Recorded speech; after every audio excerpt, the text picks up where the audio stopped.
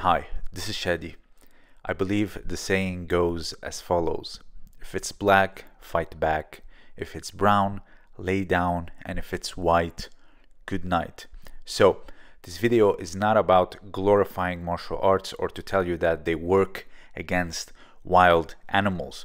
This video is going to be discussing two cases about two martial artists who did get lucky surviving attacks of unprovoked bears so uh, two martial artists actually they were thankful for their training because if it wasn't for the training they couldn't have fight it off. So this video is not about to show like some immense skills but mostly the attitude and we were lucky enough to have one case that was actually caught uh, on camera and you're just gonna see uh, the courage of the man fighting uh, the bear so the first case is here it's a climber that was uh, going up and he had a GoPro on his head.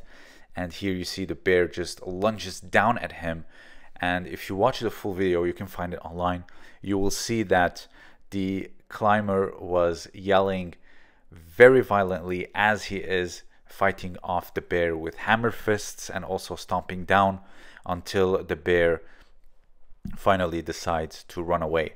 The second one is a 63 year old fisherman who also practices uh, karate and he describes his uh, encounter with the bear. So he tries to hug him and the bear threw him away. So but from a short distance he starts to strike as he is showing you here but he did get bitten and uh, scratched. So uh, luckily the man is still alive with very minimal injuries. So this is good. And the reason why i'm making this video is the not only the sheer luck that these two have had because if they were somewhere else or if it's a different kind of bear they would have been dead. For example if they were in alaska and if it was a brown or a grizzly bear or worse a polar bear in another geographical region they wouldn't have survived at all.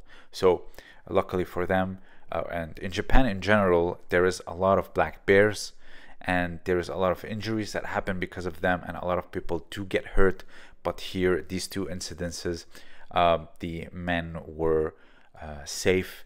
And also another thing that i want to add is uh, randori or sparring which is very good regardless of what martial art you do uh, practice uh, it does create this uh, fighting spirit in you even if you don't have it maybe from past experiences that makes you scared of the idea of sparring or also uh, a character default, whatever it may be. But Randori does give you that edge to really stand up and fight, and uh, that's really important. And I do believe that it did help them. Now, again, they were lucky enough to survive because martial arts are not for wild beasts. So, if you have something to add, let me know down below. This was Chadi, and thank you for listening.